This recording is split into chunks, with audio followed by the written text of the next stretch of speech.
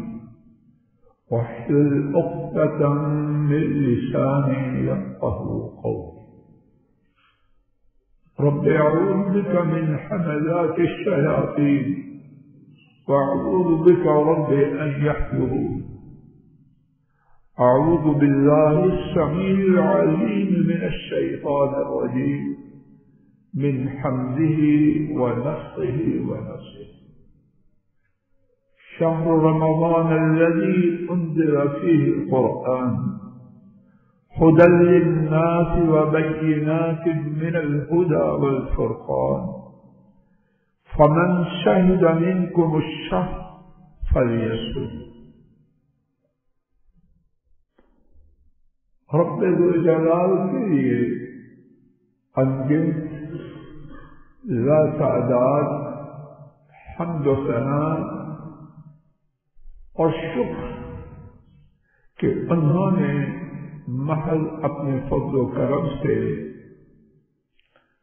ज़िंदगी में एक दफ़ा फिर उस महीने तक पहुँचाया, जिस ऐसा महीना साल के दीगर महीनों में से कोई भी नहीं।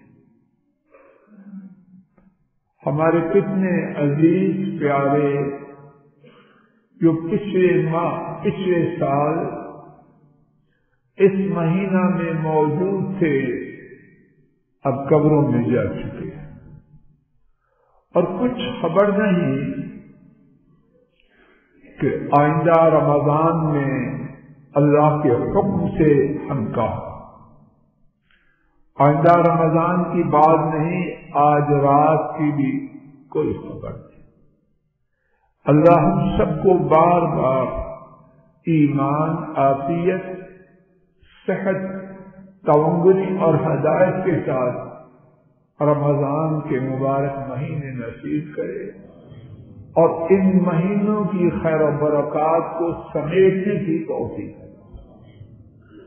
आज के खुतब जुमा में अल्लाह मालिक की तोफीक से ये इरादा लेके आया हूँ रमज़ान की शान अजमत के हवाले से चंद बातें और रमज़ान के कुछ मसाइल अल्लाह की तोफीक से अर्ज़ किए जाए।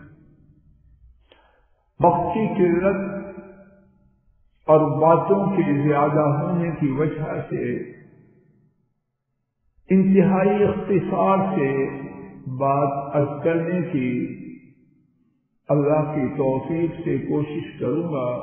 अल्लाह करे कि की हुई बात से कहने और सुनने वालों को दुनिया और आखरत में फ़ायदा रमज़ान की शान अजमत के हवाले से किताब सुन्नत में बहुत कुछ बयान किया गया है। उनमें से पहली बात रमज़ान का महीना वो महीना है कि अल्लाह ताला ने इसकी एक रात में बैतुल इज्जा से, अल्लाह जाने वो उसकी शान अजमत क्या है, उसका नाम ही बैतुल इज्जा है, इज़्ज़त वाला घर। उससे अपने कलाम पाक को आसमान दुनिया पर उतारा। दूसरी बात, इस महीना की एक रात में कुरान करीम के नजूर का नबी मुकर्रम सल्लल्लाहु अलैहि वसल्लम पर आगाज़ हुआ। तीसरी बात, इस महीना की शान अजमत रब्बुल आलमीन ने कुरान करीम में बयान की। नंबर चार रमज़ान का महीना नबी करीम सल्लल्लाहु अलैहि वसल्लम के इशाद के मुताबिक तमाम महीनों में से ईमान वालों के लिए सबसे ज़्यादा शानदार है। और रमज़ान का महीना मुनाफिकों के लिए सबसे ज़्यादा बुरा है। अल्लाह कहने और सुनने वालों सबको अहले ईमान में शामिल फरमाए। और मुनाफों से महफूज फरमाए।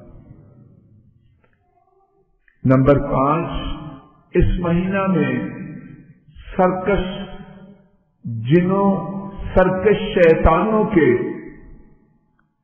इस महीना में शैतानों और सरकश जिनों के जकड़ने की खबर नबी करीम सल्लल्लाहु अलैहि वसल्लम ने खुद दी है।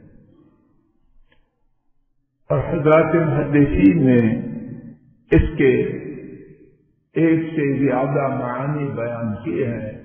एक माना यह है, हकीकतन उनको जकड़ा जाता है। दूसरा माना कि अल्लाह ताला उनसे ये सलाहियत छीन लेते हैं कि वो अहले ईमान को गुमराह करे। छठी बात हज़रत सल्लल्लाहु ने इस महीने का नाम शाह मुबारक, बाबरकत महीना रखा और इसलिए मुहदसिन ने दो मानी बयान किए। एक माना ये कि इस महीना में नज़र आने वाली और मानवी खैर बरक़ात हैं जो अल्लाह के फजल करम से इस महीना के रोजा रखने वालों, तरावी पढ़ने वालों, और ललत कदर करने की जस्तजू करने वालों को अल्लाह अता और इसका दूसरा माना कि नबी करीम सल्लल्लाहु अलैहि वसल्लम की तरफ़ से अल्लाह की ये इल्तिजा है हे अल्लाह, इस महीना को ईमान वालों के लिए बाबरकत बना। अल्लाह ने भी उनमें शामिल फरमा सातवीं बात, इस महीना में जहन्नम की आग के दरवाजों को बंद कर दिया जाता है। मुहदसिन ने इसके दो मानी बयान किए। एक माना यह है हकीकतन, जहन्नम के दरवाजों को बंद कर दिया जाता है। दूसरा माना कि अल्लाह ताला ईमान वालों के लिए ये सलाहियत पैदा करते हैं कि उनके दिलों में गुनाहों से दूरी की शदीद ख्वाहिश और तड़प पैदा हो। जहन्नम वाले आमाल से, अल्लाह अपने फजल करम से उनको दूर रखते हैं। आठवीं बात रमज़ान के महीना में जन्नत के दरवाजों को खोल दिया जाता है। और इसके मुहदसिन ने जो मानी बयान किए, उनमें से तीन मानी पहला माना कि हकीकतन रमज़ान के सारे महीना में जन्नत के दरवाजे खुले रहते हैं। दूसरा मायना इस महीना में ईमान वालों को नेकियों की तोफीक मिलती है, जिनकी वजह से उनके जन्नत में जाने के इम्कान बहुत ज़्यादा होते और तीसरा मायना, इस महीना में अल्लाह ताला ने आमाल का इस कदर ज़्यादा सवाब रखा है कि जन्नत में पहुँचना बहुत ही ज़्यादा आसान हो जाता है।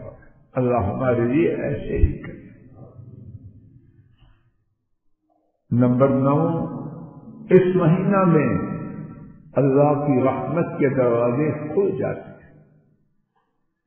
मुहदसिन ने इसके दो मानी बयान, जो मानी बयान किए हैं, उनमें से दो हकीकतन इस महीना में अल्लाह की रहमत के दरवाजे खुल जाते हैं। और दूसरा माना यह है कि अल्लाह ताला की तरफ़ से बंदों को, ईमान वालों को नेक आमाल करने की बहुत ज़्यादा और बहुत ज़्यादा सवाब पाने की तोफीक अल्लाह ऐसे ही करे। रमज़ान के बारे में दसवीं बात रमज़ान की सारी रातों में रात के आगाज़ ही से फजर की अजान तक रबुलमीन की तरफ़ से मुनादी होती है। और उस मुनादी में जो बातें हैं, एक ये है, नंबर एक, है कोई गुनाहों की मुआफी मांगने वाला वो गुनाहों की मुआफी तलब करे, उसके गुनाहों को मुआफ कर दिया हज़रत खातन मैं आप इन रातों को जाया न करें। रात के आगाज़ ही से ये ऐलान हो रहा है। है कोई गुनाहों के मुआफ करवाने का तलबगार वो मुआफी मांगे, उसके गुनाहों को मुआफ कर दिया जाए। दूसरा ऐलान, है तो तौबा करने वाला, वो तौबा करे, उसकी तौबा को कबूल कर लिया जाए। रुक जाए मैं आप और उम्मत और इंसानियत, जिन मुसीबतों में जकड़ी है, क्या अल्लाह की तरफ़ से जुल्म है? ये मेरे और आपके और उम्मत के गुनाहों की सजा है। आइए, रमज़ान की आज चौथी रात आ रही है। एक एक रात नहीं, एक एक लम्हा को गनीमत समझे।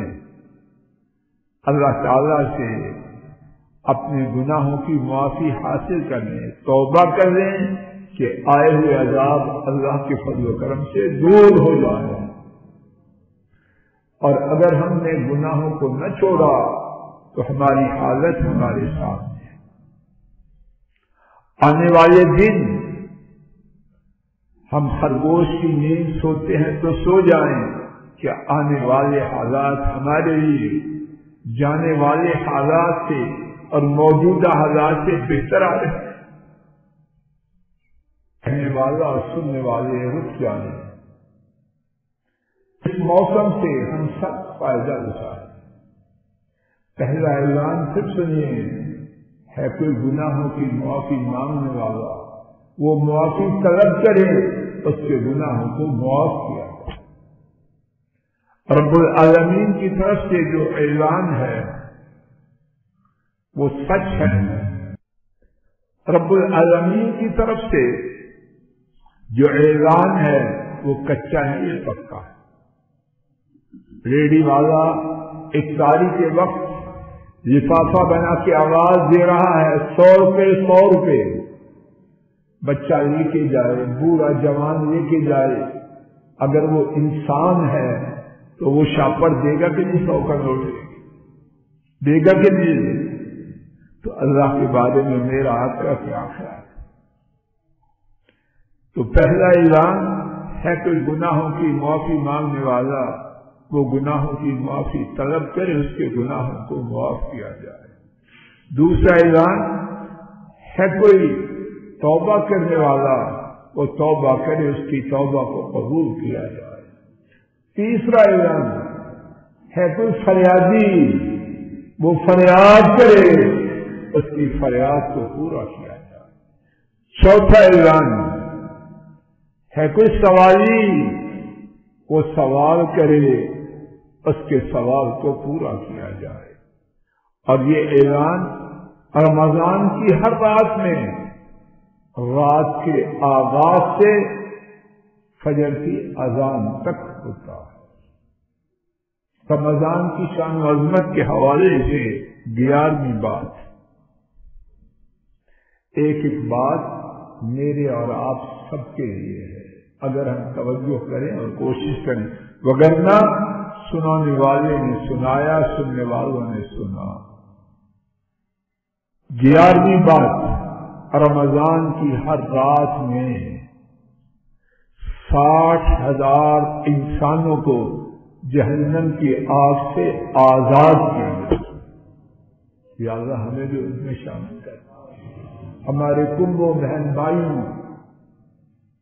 आइला कारिम इस्लाम को इनमें शामिल रमज़ान की हर रात में साठ हज़ार लोगों को जहन्नम की आग से आज़ाद किया जाता है। और जब ईद का दिन होता है तो जितने लोगों को सारे महीने में जहन्नम की आग से आज़ाद किया गया, उतने ही मजीद लोगों को जहन्नम की आग से आज़ाद किया जाए रमज़ान के हवाले से चंद एक मसाइल वक्त की पाबंदी करते हुए अल्लाह की तोफीक रमज़ान का एक बहुत बड़ा, बल्कि सबसे बड़ा अमल रमज़ान के रोज़े हैं। इनके मसाइल के हवाले से इंतहाई इतफाक से, शहरी के मसाइल नंबर एक रोजा के आगाज़ से पहले, अजान के साथ रोज़े का आगाज़ होता है। उससे पहले नीयत का होना ज़रूरी है कि मैं रोजा रखा नाश्ता तो नहीं कर रहा, दोपहर का खाना तो नहीं खा रहा, रोज़े की नीयत हो। और यहाँ ये नोट फरमा लीजिए, रोज़े की नीयत करते हुए जबान से कुछ बोलना हज़रत वसल्लम से साबित नहीं। अखबार में पोस्टर में जो दुआ लिखी है, रोजा की नीयत, वो साबित नहीं। है रोजा की नीयत करनी है किससे? नंबर दो, शहरी के खाने का एहतमाम करना। यहाँ तक के नबी करीम सल्लल्लाहु अलैहि वसल्लम ने फरमाया, अगर और कुछ न कर सके तो पानी का एक घूम पी ले। वक्त थोड़ा है, या वसाइल नहीं, या तबीयत आमादा नहीं, लेकिन फिर भी शहरी को जाया न करें। इसका नाम नबी करीम सल्लल्लाहु अलैहि ने बाबरकत खाना रखा। और ये खबर दी कि शहरी खाने वाले बेशक अल्लाह ताला और उनके फरिश्ते उन पर दुरूद भेजते हैं। और अल्लाह का दुरूद ये है कि फरिश्तों की महफल में ऐसे लोगों की तारीफ़ करते हैं। उनको गुनाहों से पाक करते हैं। उन पर अपनी रहमतें नाजिल करते हैं, उन पर बरकतें उतारते हैं और उनको बुलंद उबाला करते और नोट फरमाइए, जब शहरी के खाने की ये शान अजमत है तो सारे रोज़े की शान अजमत क्या हो नंबर तीन, शहरी न पहले खानी चाहिए और न अजान के बाद खानी चाहिए।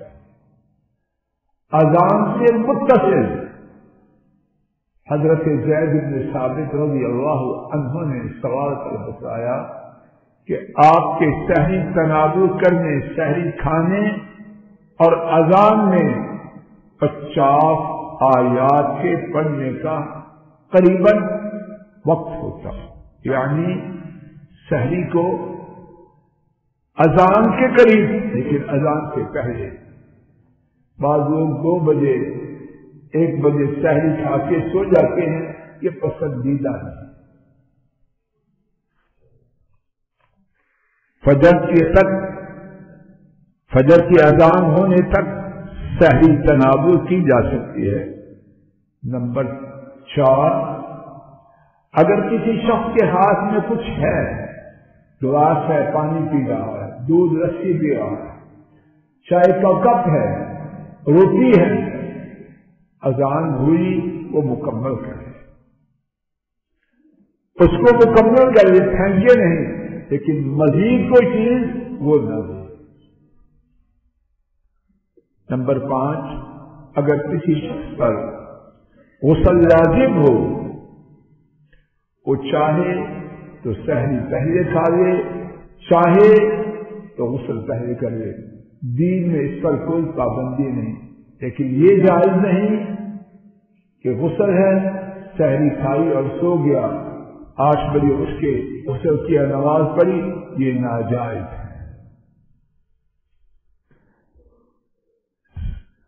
रोज़े के दरमियान के जो मसाइल हैं, उनमें से पहली बात, खाने पीने से और इस दिवाली ताल्लुकात से दूर रहना है। नंबर दो, झूठ को और उस पर अमल को छोड़ना है। अगर कोई शख्स झूठ और उस पर अमल नहीं छोड़ता तो नबी करीम सल्लल्लाहु अलैहि वसल्लम ने खबर दी उसके रोज़े की अल्लाह को कोई ज़रूरत यानी उसका रोजा अल्लाह के यहाँ कबूल नहीं। अल्लाह ऐसे रोज़े से अपनी रहमत से महफूज रखे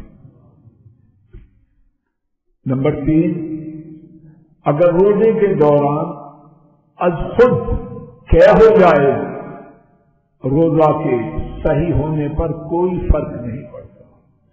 अगर जानबूझ के कोशिश से तय करे तो उससे रोजा खत्म हो जाता है। अगर कोई चीज़ भूल कर खा ले, अगर कोई चीज़ भूल कर खा ले पी ले उससे रोजा नहीं टूटता। लेकिन जब भी खबर हो, उसको फ़ौरन छोड़ दे। नंबर पाँच, रोजा की हालत में गुसल करना जायज़ है। नंबर छह, सुरमा लगा सकता है। नंबर सात, खुशबू का इस्तेमाल कर सकता है। नंबर आठ हंडिया में से नमक, मर्च या मीठी चीज़ में से उसका जायका चख सकता है सिर्फ़ जबान पर, उसको अंदर न करे।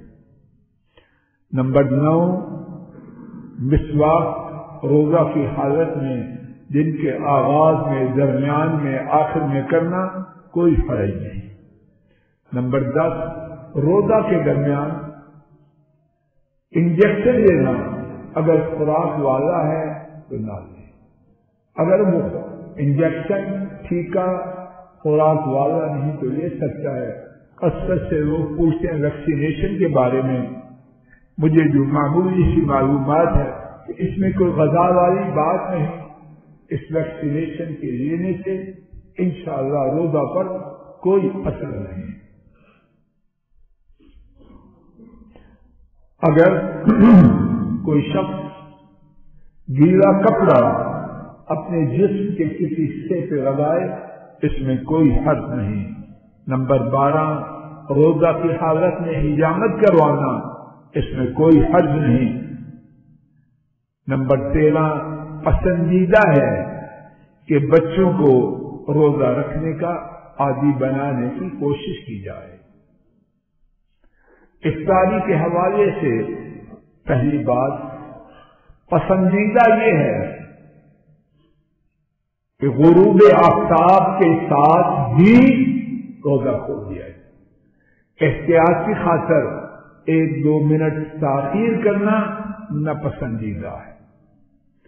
नंबर दो, मसनून ये है कि खजूर के साथ रोजा खोले। अगर खजूर मुयसर ना हो तो पानी के साथ, पानी मुयसर ना हो तो फिर जो अल्लाह की नेमत मुयसर हो। नंबर तीन इफ्तारी का वक्त, दुआ की कबूलियत का वक्त है। नबी करीम सल्लल्लाहु अलैहि वसल्लम ने बिशारत दी है कि इफ्तारी के वक्त रोजेदार की दुआ को अल्लाह ताला मुस्तरद नहीं करते। हज़रत खातन इस मौका से फ़ायदा उठाए। कितने घरों में इफ्तारी का साजो सामान रखने, खाने, उसमें इतने मगन हैं कि दुआ की फुर्सत है। और खसूस खातन इस बारे में कोताही का शिकार होती हैं या उनको मजबूर किया जाता है, इस नेमत को जाया न करें। अल्लाह ताला अपने फजल करम से मुझे आपको रमज़ान की बरकत से माला माल करे और सुन्नत तरीके से रमजान के सारे अमाल करने की अपनी रहमत से तोफीक अता फरमाए और रमजान के जाने से पहले पहले अपने फजल करम से हमें गुनाहों से मुकम्मल तौर पर पाक और साफ कर दे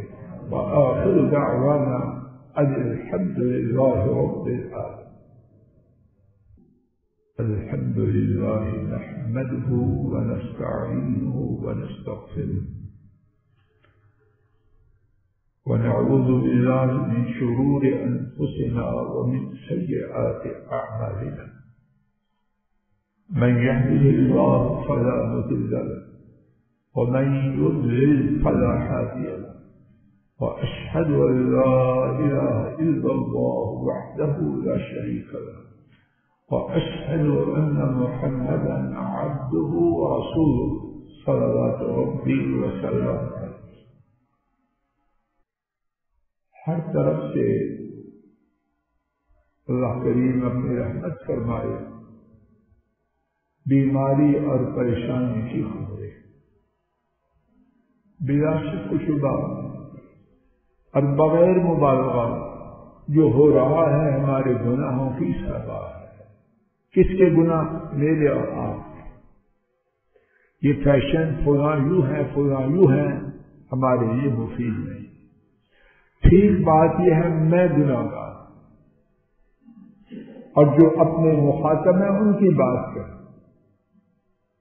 दो तीर फैलते जाए और खुद जबरी और इस्लाम की नस्ल से बन जाए, ये तरीका ठीक कहने वाले और मैं, और आप अपने अपने आमाल का जायजा अल्लाह के लिए। कुछ पता नहीं ये मोहलत कब खत्म हो जाए? हमारे साथी प्यारे, जो जा रहे हैं, जा चुके हैं, उन्हें पहले तो खबर आई थी। उनसे कोई इजाज़त ली गई थी। हुक्म इलाही किसी वक्त भी आ सकता है। रमज़ान शुरू हो चुका। तौबा का महीना, गुनाहों की मुआफी का महीना, अल्लाह की रहमतों का महीना। जहन्नम से आज़ादी का महीना, अल्लाह को राज़ी करने का महीना। अल्लाह के लिए मैं सबसे पहले। और आप सब हजरात खातन इस फुर्सत से फ़ायदा उठाए। मालूम नहीं कि फुर्सत किस वक्त खत्म हो असर की नमाज़, किसी को खबर है कि वो पढ़ेगा या उससे पहले जा चुका मैं आप रुक जाए रुक जाए रुक जाए। गुनाहों से थम जाए। नेकियों में जुट जाए। इंशाला खैर होगी। और अगर ये नहीं तो बातों से, नारों से इनसे कुछ नहीं बनेगा। अल्लाह अपने फजल करम से हमारे जो बीमार हैं, उम्मत के उन तमाम को शिफा जिन्हें हम जानते हैं उन्हें भी और जिन्हें नहीं जानते उन्हें भी और जो बचे हैं अल्लाह उनको अपने रहमत से बचाए अल्लाह अला मोहम्मद वाला आल मोहम्मद कमा सल्लैत अला इब्राहीम